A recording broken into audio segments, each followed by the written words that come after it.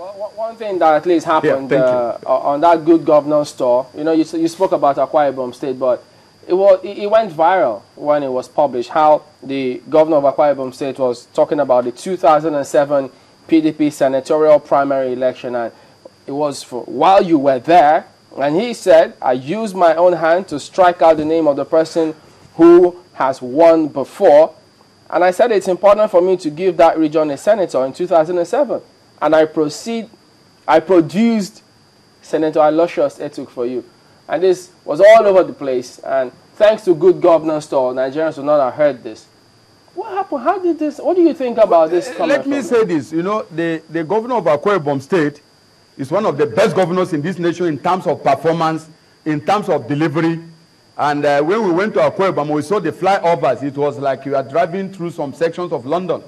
If you go to Uyo today, you must give that governor uh, the kudos for what he has done to transform a very rural state like Akwa Ibom into one of the standard bearers today in terms of infrastructure.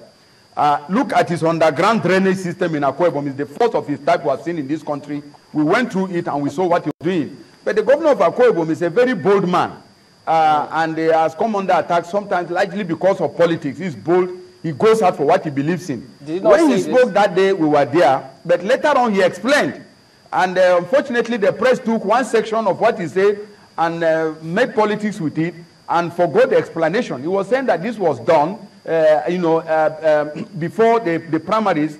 And so when he was giving the additional explanation, because he also says so, that people are still going to go out to misquote him. So he made the explanation, and we have placed it, what he said on, the, on our ministry's uh, uh, uh, website. And I think it's important for people, I'm not speaking on behalf of Akwa Ibom, the Commissioner of Information in has also tried to explain. And I think that the governor has not been properly reported because people are not privy to the facts and his explanation. But and as a journalist, should- I believe if somebody makes a statement, listen. If somebody, if somebody I makes a, truly can can you hear me, please? that part. as as journalists as journalists if somebody makes a statement and then explain his statement the pre- important the important thing is to explain i say this but this was the circumstance and i think he tried to explain it uh, and and i think we should place what he said for nigerians to make their own judgment All we right. have done that Mr. Labaran Maku, Minister of Information, thank you very much indeed for speaking with us today on Sunrise Daily. thank you uh, my brothers and colleagues uh, thank you very much